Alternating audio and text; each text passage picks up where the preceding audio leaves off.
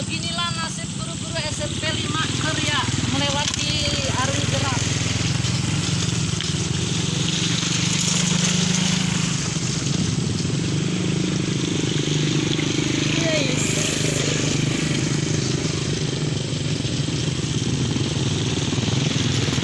Iya.